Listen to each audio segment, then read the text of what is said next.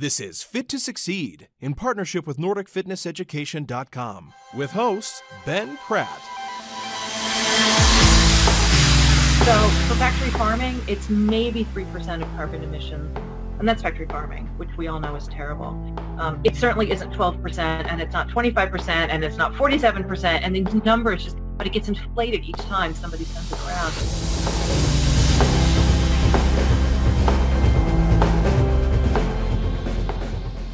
Okay, and welcome to another episode of the Fit to Succeed show.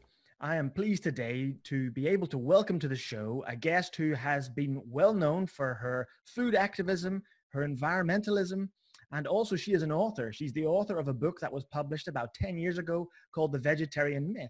Her name is Lierre Keith. Lierre, welcome to the Fit to Succeed show. Great. Thanks for having me on. Oh, it's such a pleasure. Such a pleasure. Now, we were just speaking just before we started recording here that uh, I first came across your work perhaps around the time that your book was first published. And we're now a decade on from that. And I still think that the subject matter that you talked about in the book is still very relevant today. Um, I wonder if you could perhaps summarize, just as a way of us maybe getting to know you a little bit, if you could summarize briefly the impact that publishing the book, The Vegetarian Myth, has had upon your life since that date. Mm. Um, well, there's always positives and negatives in life. Um, the positives certainly have outweighed the negatives. The negatives is, is just that there's, you, talk about food and it's like religion or politics, you know, it just explodes. And people have very, sometimes very harsh uh, responses when, you know, their, their ideas are crossed. So that is always a challenge. I get a lot of hate mail. Um, I've, you know, been through quite a lot of, um, say, not particularly nice uh, experiences uh, with, mm-hmm. with vegan since. Um, I have to speak with security um, present because I've been assaulted. Um, you know, I just, there's always death threats before I'm going to be anywhere. So I just had to always take that in mind now. And I did not realize it was going to be that bad. Wow. I'm somebody who spent 20 years in that world, but I honestly did not know that it was going to be at that level against me. So well, that's a drag. But on the positive side, um, the book has been wildly popular. It's my publisher's number one selling title still, which is amazing. Um, and really the reason that matters to me is because I, I wanted to reach the next generation of impassioned, engaged young people before they did this to themselves. I wanted them to understand that this was not a way forward and that if they did it long term, they were going to end up with permanent physical damage because mm-hmm. that's what happened to all of us who tried it long term. So it's already, the experiment has already been run. They don't need to do it, you know, on their own. Like they're allowed to learn from what we've already been through. And I wanted to lay out the reasons why. Like these are all the reasons that, that this is not actually the best way to institute um, the values that you hold dear because those mm-hmm. values are correct. That's never the issue. The problem is how do we best embody them? And a vegan diet, as it turns out, is not that. So anyway, I just, I really, really, it was just, that was my survivor mission was to reach out to those people especially and explain why this wasn't going to work, that it's really a dead end. And there are better, much better options out there to address yeah. all of that. So. Mm-hmm. Agreed. And, you know, uh, it, it, doesn't take too much searching on Amazon to see that your book has been very popular, you know, more than 500 reviews and, uh, and those mostly over four stars. So uh, it's very clear that the book has had some impact. Now, I wonder, you, kind of alluded there, Lierre, that you obviously came from that world. You were a vegetarian and a vegan for quite a long period of time. Um, is there anything in particular that you loved or enjoyed about that lifestyle, making those choices with regards to your diet? Yes, and those things are still true. So I loved feeling like with just simple act, like eating, what I was choosing to purchase that I was making the world better. And I certainly thought that was true when I was a vegan. As it turns out, it wasn't true. But what I eat now, it is actually true. So um, I still have that sense of happiness that I'm able to do this one thing that, um, you know, it's a minuscule level, our, our personal decisions, but I like that one. You know, it makes me feel very satisfied on a daily basis that um, you know, I can build a little topsoil and restore a little habitat and I can do and support local farms and all of that. So those are all good things and I'm happy to do them and they make me happy. So um, that part, there, there, there was that sort of two, three years in the middle, like when the vegan thing crashed and then I had no idea what to think about anything at all. Um, the thing that made it better was realizing that I could still do that. Like I could still have that kind of completeness and feel like, you know, and my personal decisions were actually going towards something good um, by instead eating things like grass-fed beef.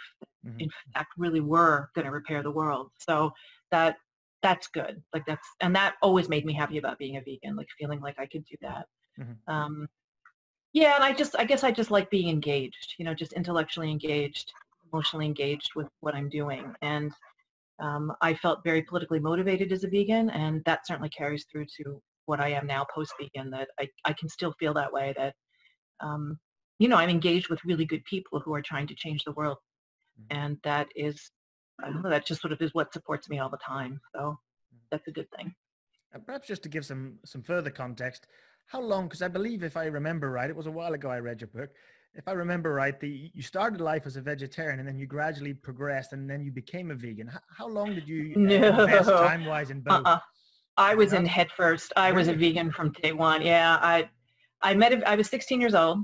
I met another teenage girl who was a vegan. Her whole family was into being vegan, mm-hmm. and it didn't take two weeks. I was utterly convinced, and that was it. I didn't look back. So mm-hmm. 20 years just full on um, yeah, I never went through the vegetarian part first. It was just, oh, this is terrible. How can I, you know, what can I do about it? Mm-hmm. Um, and I mean, she had great propaganda and she had all the right things to say. And I was very convincible at 16 years old. Mm-hmm. Um, sure. You know, the sad part is that I, you know, I lived in this very kind of urban environment. I had no idea where food came from. So when she presented these things as facts, um, I didn't really have any counterweight to it. Mm-hmm. It seemed true. And let's all just say factory farming is horrible. Like that part is still true. But pretty much everything else she told me is completely not true. I just, I had no way to know that at age 16 and certainly the internet didn't exist. So, hmm. you know, I just, I found the propaganda, you know, like I read Frances Moore Lappé and all the vegetarian books, the vegan books, and it just made such a convincing argument. And I, I had no way to like check the facts on it. So hmm. I just believed. And the moment you're in that it's really hard to get back out like because you're i mean i don't know about all your listeners but i mean i was that kind of just you know absolutely hardcore you know kind of self-righteous teenager and it was like i was just going to do it. So there was there wasn't really any talking me out of it at that point so.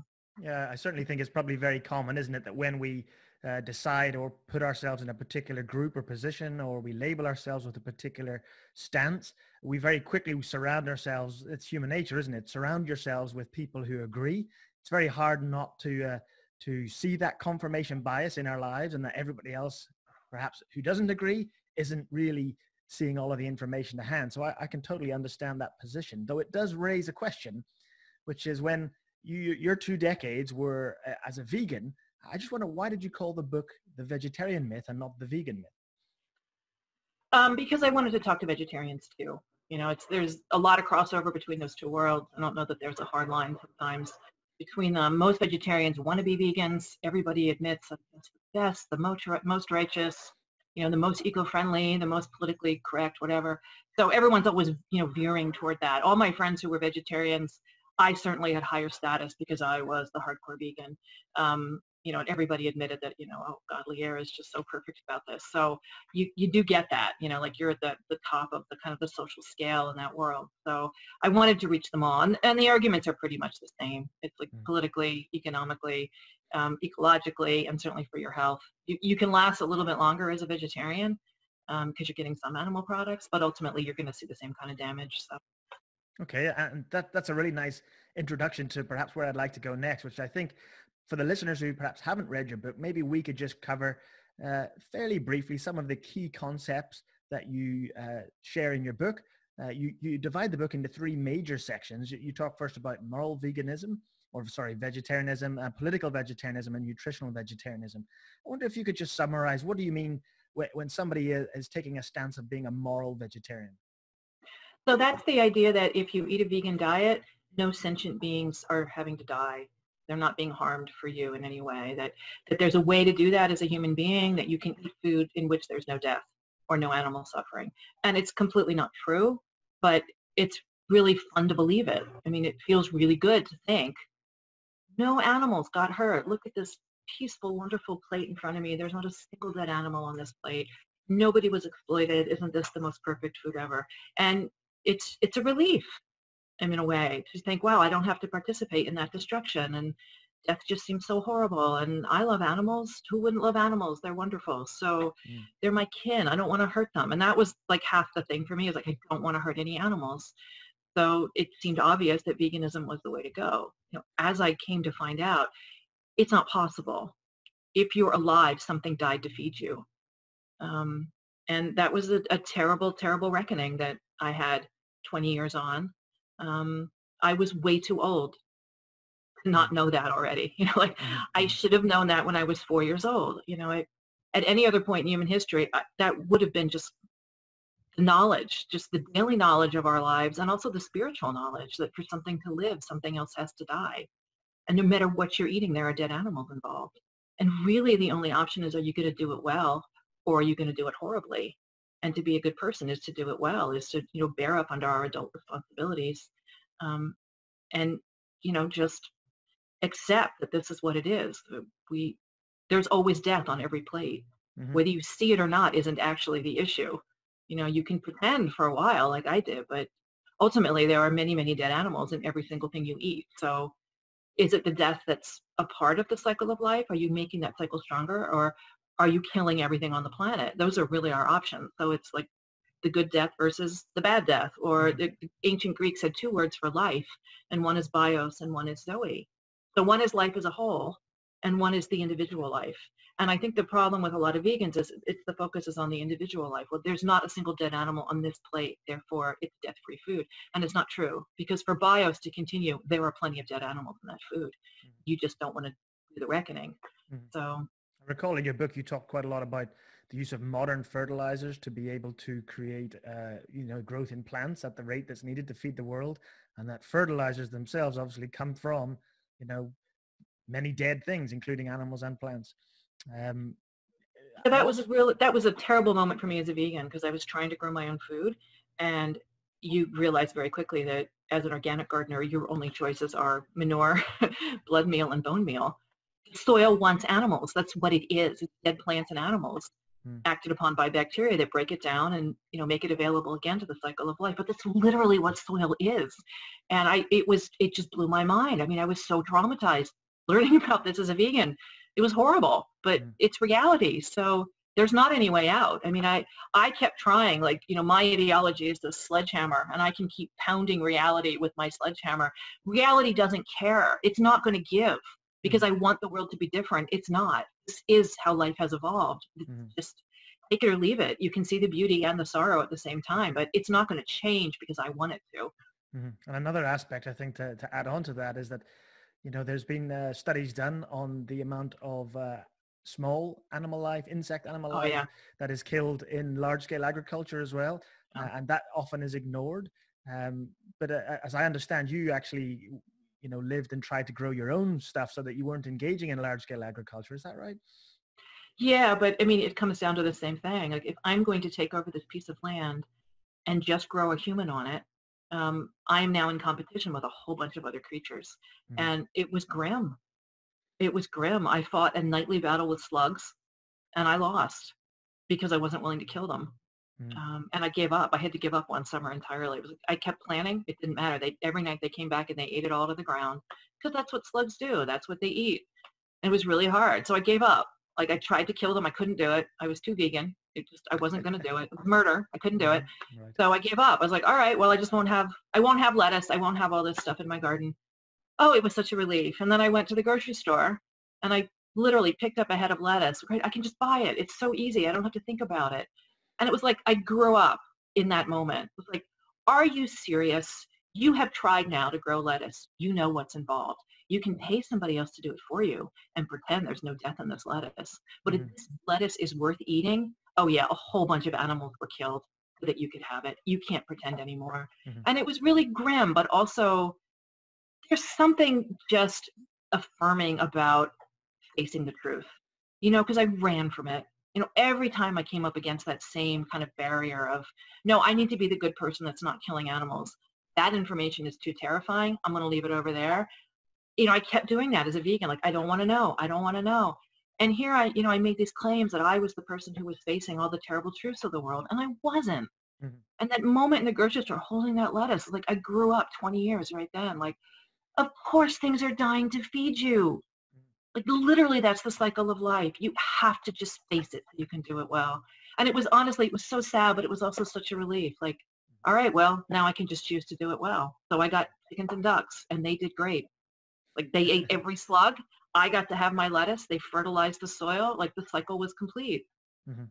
But it meant, you know, involving animals. Like you, the planet, you can't have a living planet without animals. Like what are we doing? Taking over entire continents, driving the animals off, and then just growing monocrops for humans. Like that mm-hmm. is going to collapse. The soil can't last forever. Mm-hmm. I mean, in fact, the soil lasts between 800 and 2,000 years. That is the length of every civilization. And then they collapse because mm-hmm. it's an inherently destructive activity. So I found that out kind of one-on-one. Um, yeah, fascinating. So, yeah. I wonder if we could uh, change gears then, because the moral arguments I, I, feel sometimes are the most emotive, but you sure. also mentioned the political arguments or the political side to being mm-hmm. vegetarian. Uh, what's your thoughts on that? So, you know, what you hear as a vegan or a vegetarian, and also now a lot of the global warming activists will say things like, it takes 16 pounds of grain to raise a cow, get a, a pound of protein from a cow. Mm-hmm. And that's obviously wrong. Um, we should give all that grain to people and keep the cows out of it um, and then the whole world could be fed. And it's a very simple argument. I believed it myself for 20 years. Not a single piece of it is true. That's the problem. so number one, why are there starving people in places like Cambodia? Um, and why should they be dependent on us for food? I mean, that's a relationship that's it's imperialism. I mean, that's mm-hmm. that's what it is. Mm-hmm. It means that the West has taken over those places, turned them into colonies, destroyed their capacity to feed themselves because they know how to feed themselves. They've been doing it for thousands of years, like everybody else, um, and then made them dependent on this economic system. So they have to do things like make sneakers or build computer chips in horrible factories, and then with the pennies they get in return, they have to then buy food from the center of empire, which is the United States. Um, this is not in any way a relationship of justice. And in any other circumstance, anybody left of center would understand that this is indeed imperialism, it's colonialism, it's everything that we're against. But when it comes to food, suddenly it's the model we're after. It's insane, right? Like we would all know that that's not right, except suddenly when vegetarians say it, we all believe it. So no, people in Cambodia don't want to be dependent on the United States for food. And the only reason that they are dependent on for food is because there are six corporations that essentially control the world food supply, and they are able to drive the price of the grain below the cost of production. Mm-hmm. Okay, that's the kind of prices they can demand. And what it means is they go into places like the Philippines, like Cambodia, like India, wherever they can go, um, and they put all the local producers out of business. So communities that could once feed themselves no longer can because those giant corporations keep undercutting the food supply. And we call that agricultural dumping, actually a name for it.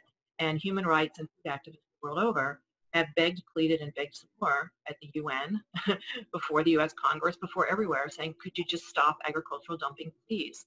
We need to be able to support ourselves. Our farmers need to be able to provide food for our population. Mm-hmm. And they lose. And that's what, you know, globalization is all about. So they've been losing. Um, and what it means is that the farmers lose their land, they get pushed into urban squalor, um, they lose their cultures. Like it's just a slow form of genocide. Mm-hmm. This is not a relationship based on justice. Mm-hmm. And I, it's insane to me that I ever believed that this was the way forward. It's not. The worst thing you can do to hungry people is undercut their local food supply. And that's what's been happening for the last 50 years. So and, and hence you have these just huge swollen urban slums places, you know, in Pakistan and India and wherever. That's why they're Mexico City. It's because the people on the land have been driven off and they have no other options to survive but to try to get to a city see if they can make it there. But it's absolutely wrenching, you know, destructive of all their indigenous traditional cultures. And then the land is destroyed by, you know, giant agribusiness. So this doesn't make sense, you know, in, in any way. And you know, again, it's it's an easy statement to make. Oh, 16 pounds of grain, but it's not reality. That's not actually what's driving it. Mm-hmm. Um, the other problem with I mean, those statistics that they're simply not true. Even in horrible conditions like factory farming, um, there's only about 13% of what those animals are fed could be eaten by humans. The rest is honestly agricultural waste products. It's things we can't digest. It's cellulose. It's the stuff we don't want. So there's not even that much of it that's actually going to animals. Um, and then the third thing is the reason we have factory farming is because of this vast surplus of grain that was created by the so-called Green Revolution. So in 1950, uh, a lot of the plants that during the, the Second World War were making essentially bombs for the war effort, they converted to peacetime activities. And so it's all about nitrogen. It's all about using nitrogen for explosives. So instead, they switched to making nitrogen fertilizer. Mm-hmm. And then the plant breeders got on it and figured out how to make things like wheat and rice super short with huge seed heads. Uh, at this point, you can't go any further. The plants will just break. Um, but that's what they did. So between the breeding these super duper weird plants and then applying this incredible amount of fossil fuel, they were able to quadruple the world harvest mm-hmm. of grain, basic grain stuffs. Um, what that meant, of course, was that the human population also quadrupled. It's not like we fed people better. Um, we just made the problem four times worse. Like it's not mm-hmm. actually what helps. So, I mean, the whole model was wrong. It's also completely dependent on fossil fuel. Hint, there's not any more of it. Like, yeah. it's a finite quantity. Like I know, like it's going to run out, whether it's this year or 10 years from now or 20. Like who cares the exact date? It's going to happen, and we're in mm-hmm. utter denial about that. But that created this huge mountain of corn, and that's what created factory farming. Mm-hmm. That mountain of corn, like you know, pennies on the pound. Like it was never been that cheap before in all of human history. And all of a sudden there's so much that they can't even give it away. And now it makes economic sense to keep animals in completely bizarre, horrifying conditions, feed them a bunch of crap. They get really fat really fast, which means meat is cheap. So this being capitalism, that's what they did. But that's yeah. why factory farming exists. It's not because animals naturally want to eat this stuff. It's not a natural diet for a cow. A cow is designed to eat grass. Yeah, so a poor comparison in the first All place, by the sounds of it. Yeah, so I mean, the whole thing is like just a massive mess out there, but the vegetarian version of it doesn't match reality. Like, it's not the flow of power. It's not what's going to fix it. It's not why the problem exists. Like, mm-hmm. none of these, and and most of the facts are wrong. So it doesn't actually match reality. Mm-hmm. Sure I appreciate that. That was a that was a very uh, clear and uh, perhaps overwhelming message as we talk about the political factors. Uh, we, as individuals, it, it often feels like, well, what can I do about some of those things? Um, what do you mean then by your third section in the book, which is nutritional vegetarianism? I, I appreciate again, this could be a huge area, but maybe just briefly summarize this. So one of the reasons that I was compelled to go vegan, um, half of it was definitely the animal suffering and certainly the world hunger issue you know, were very compelling. But the third part of it was these claims they make about how it's going to help your health. And at that point, at least in the United States, we had had this thing called the McGovern Commission in the mm-hmm. early 70s. And um, that was where they came out and said, oh, everybody should eat a low-fat, high-carb diet. So in school, that's what we all learned. And I was 15, 16 years old. And we learned that you shouldn't eat any animal products. If you do, it should be low fat everything. Skim milk is all you should ever have. If you don't, you're going to get heart disease and diabetes and cancer and die. Mm-hmm. Um, and that was just chilling. I there's a lot of diabetics in my family, and I had a great aunt who had a leg amputated. Like it was horrifying, and like oh, this is how I can fix this, and those horrible things will never happen to me. I just have to eat this other way. And then I met the other young vegan and I was like, okay, now I have all the answers I need. So boom, I went in. But the nutrition thing here, I mean, it's an experiment they ran on the American public for two, three decades. The entire thing collapsed. I mean, they've all come around now instead. Like we didn't really have any research or the research we had was profoundly flawed. You know, they've pulled back from this just every single year. There's another huge study and another sort of you know, out comes another sort of public relations spin from one of these big kind of, you know, public interest groups. But it, it all comes down to the same thing. Like animal fats have been, they're off, I mean, every, it's, there it is, like on the cover of Time magazine, that, you know, they were very unfairly blamed for these diseases that mm-hmm. they're protective of those diseases. The traditional fats are protective fats. They, they are the ones that keep us healthy um, and you can't get them if you're a vegetarian, a, veg- a vegan currently, and it's hard as a vegetarian. Um, and that's really what's kept the human race healthy. We, Yeah, and then you just do a little bit of research about our actual digestive tracts and what they look like and who they compare to. And it's not cows. We don't have four stomachs. It's wolves. We look a lot like that. So um, yeah, but but that was very compelling to me as well. That you know, if you just do this simple thing of taking out animal products, you won't have these terrible health problems. Yeah, and instead, you know, in the service of that, I ended up permanently a mess. But whatever, live and learn.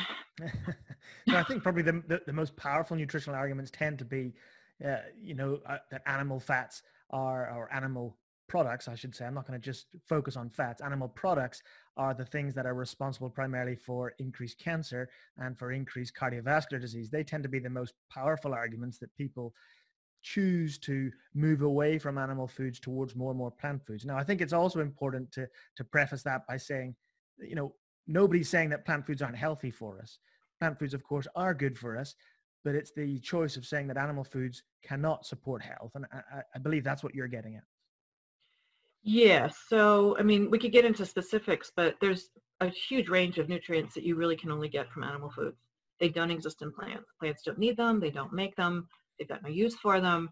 Um, if you don't eat some animals, you're not going to get them. So vitamin A, vitamin D, K2 is kind of iffy, B12 certainly, um, CoQ10, heme iron, just basic iron. The kind that your red blood cell really wants is the kind that comes from red meat You can't really get it anywhere else. Your body will try, but um, you know, there it is, like moment to moment. You you can't live without oxygen, and that's what does it. Is that heme iron?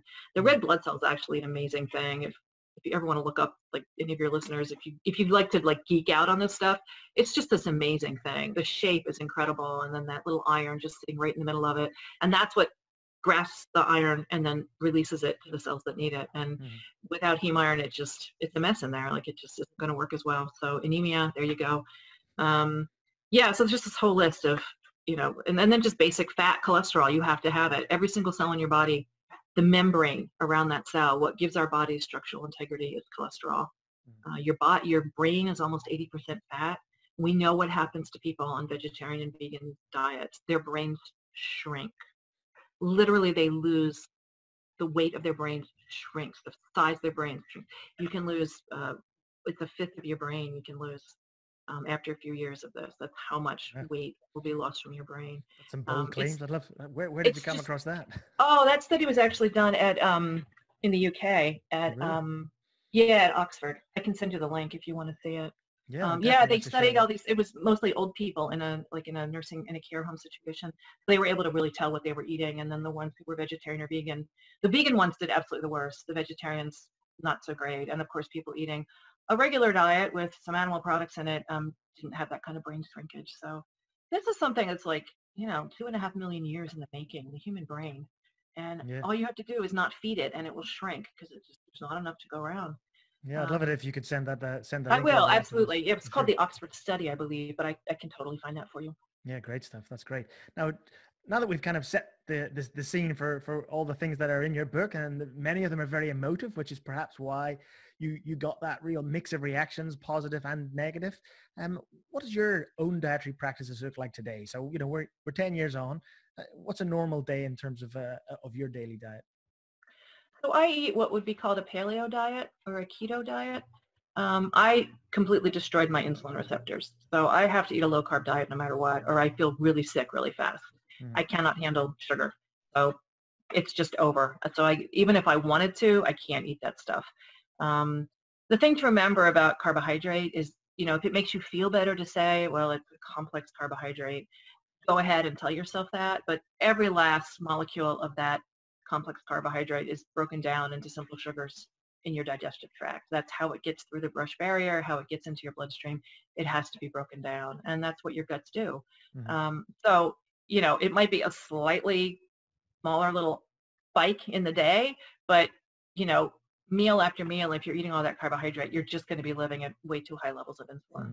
As I found out, because I didn't eat sugar, I didn't eat white flour, I didn't do any of that as a vegan. I was so strict whole grains, whole beans, all of that. Um, I wouldn't even eat like jelly or ketchup if it had sugar in it. I mean, that's how strict I was. It didn't matter through my insulin receptors because it's just sugar day after day after day, three, four, five times a day. It's all you're eating as a vegan. So yeah, so I can't do I can't eat any really any load of carbohydrate at all. So um, what I do eat is um, I'm very lucky. I live in a rural area. Um, I've had a lot of my own animals as well. This very moment I don't, but I've raised my own chickens, ducks, mm-hmm. geese, all of that. I've had goats. Um, I'm very lucky living in a rural area. I can get grass-based, you know, pasture-raised, really good quality animal products from all kinds of local farms. We even have a cheese factory here, and they have their cheeses are all from local grass-based farms. So, I mean, I I've really lucked out. I know that it's much easier for me than for other people. Mm. But um, so yeah, my diet is basically beef, eggs, good cheeses, um, and I'm on the coast, so I get good fish. We, we have salmon here and sea so fish as well. so what, what sort of plant foods then? You, you, sort of indicated that the starchier foods you probably have to avoid. No. What sort of plant foods do you include in your diet regularly? Um, I'm, you know, I like vegetables. I'm one of those people who actually enjoys a great big salad. I know that's not everybody, mm. but um, I actually like that. So every day there's definitely a large green leafy thing that is my generally my lunch is what I eat. I'm not a big fruit eater, and I, I really can't tolerate it too much anyway. So there's no loss there. That's not something I crave. Um, but yeah, like fresh veggies are, I, I'm happy, fry them up in butter, you're good. Um, peas, beans, whatever, mm-hmm. zucchini, whatever, whatever's fresh on the vine we can do. We don't have great tomatoes here because it's too cool, but you can get mm. little tiny tomatoes and those are usually pretty good. So. Right. So it sounds like uh, like you, you really emphasize food quality and being able to source it from uh, from somewhere nearby by the sounds of things. Yes, and it's very important. I mean, the number one question you should ask about your food is, does it build topsoil? Mm. Because if you can answer yes to that, they're doing everything else right. That's the key right there.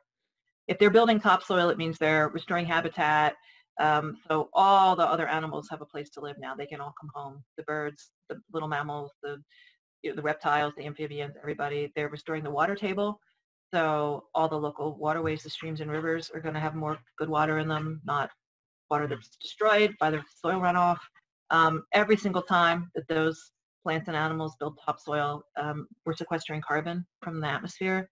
It's really the only hope our planet has is getting the ruminants and the grasses back together. It's mm-hmm. that's the only way we're going to sequester that carbon, and it can be done. It's not too late. It's just, you know, do we have the political will for it? So every time that you buy, you know, grass-fed beef, bison, whatever, pick your ruminant. I don't care. um, you're doing it. You know, you are helping those farmers sequester carbon.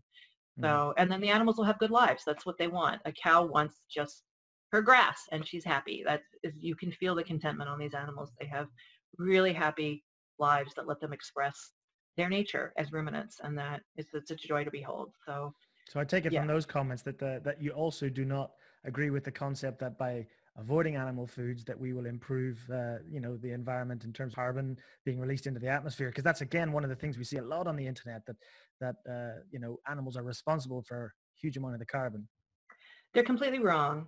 Um, that was based on one study um, where they compared apples and oranges.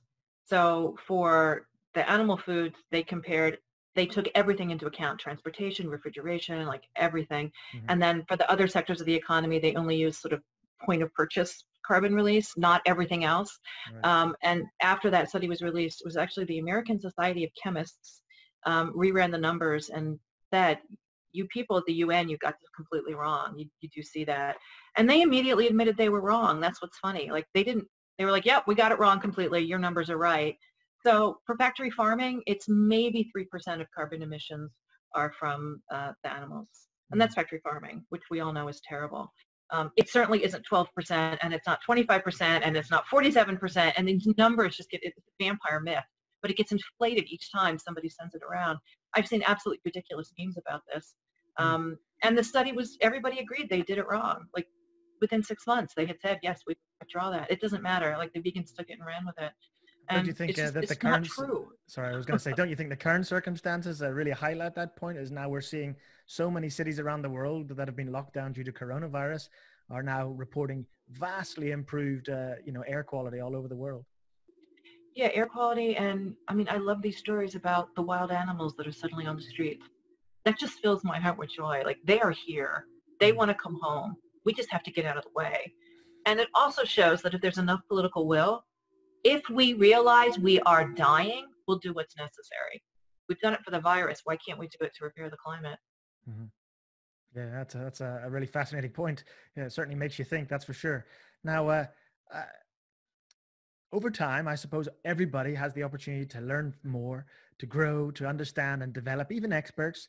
Uh, and one of the things uh, that often happens with uh, with someone who's an author like yourself is that they record to the best of their knowledge and understanding in a book their views. But obviously, time passes, you can learn and develop, and perhaps those views can change. And I just wonder if you were handed the opportunity today to rewrite the vegetarian myth for a second edition, would you make any changes? And if so, what would these be? There's even better research about how the heart, heart, heart, the the high fat heart hypothesis is wrong. Mm-hmm. Um, so I would include more of that, more updated information. It's, you know, every study that comes out shows that there's, if there's any connection at all between cardiac health and diet, it's that higher fat diets are actually better, but it's animal fats. The polyunsaturates are terrible. Um, and that has just, you know, be, been made more and more clear. That's one thing I would update some of that. It's because we have better information. Um, and then the other thing that I would include more is just the incredible stuff that's been done over the last decade to repair grasslands um, and prairie ecosystems and just how fast it can happen and how desperately important that is to save life on Earth. That that mm-hmm. really is the only way we're going to sequester that carbon. But they're doing it. There's millions of acres now that are under that kind of repair, and the the results are just extraordinary. It, it's it's a miracle, and it's also not a miracle. It's just what life does, mm-hmm. right? And this could be done everywhere. It's not actually that difficult to understand the principles. And most farmers the world over are desperate to figure out. I mean, they're, they're serfs essentially the six corporations that control the world food supply. And they want to get out from under. It's just nobody's explained how. And this immediately can give people back their independence. Um, it gives the animals a happy life and it does the most important thing, which is it sequesters the carbon. So all of that can be done. And this is what I mean. Like we're not out of hope we just it's always a question of political will. So if we could get even a few of the major institutions on the planet faced in the right direction, um, we could still do this. I'm I'm not giving up yet, but I would include a lot more of that information in the book because a lot of that was just sort of kicking off when I got started, and now we have demonstration sites everywhere that are really showing how this is done and how incredible it is. Mm. Um, it is it's very doable. So yeah, fantastic. And uh, you know, I think you also raised the point there that that sometimes I, I think sometimes in our modern lives we, we don't mean to, but we inadvertently separate good nutrition and eating effectively for our bodies and the farming that needs to take place in order to uh, to do that. And I, maybe it's easier for people to do that, but uh, I found over the last 15 or 20 years that I've really been getting into nutrition that, that you just can't. To learn one, you have to learn the other. Yeah. Yet nutrition courses just teach nutrition and farming courses just teach farming and the two don't seem to come together often enough any thoughts on that yeah i mean it was sort of stunning for me to learn about all this because you know the answers were all there and it was such a complete picture. I mean it was just beautiful in its completeness. So when the animals are happy it means that they're eating grass and that means that habitat's being restored and carbon's being sequestered and all of that good stuff is happening but it also makes a very different animal product. When you compare animals that are eating the food they're meant to eat, living the lives they're meant to live with this horrible situations of factory farming, they're actually really different products at the end of the day. Um, omega-6, omega-3 ratio is completely different.